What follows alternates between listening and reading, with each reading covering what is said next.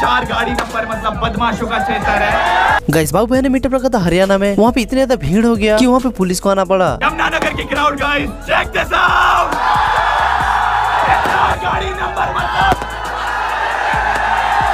ऐसे और video channel को सब्सक्राइब ज़रूर कर लेना।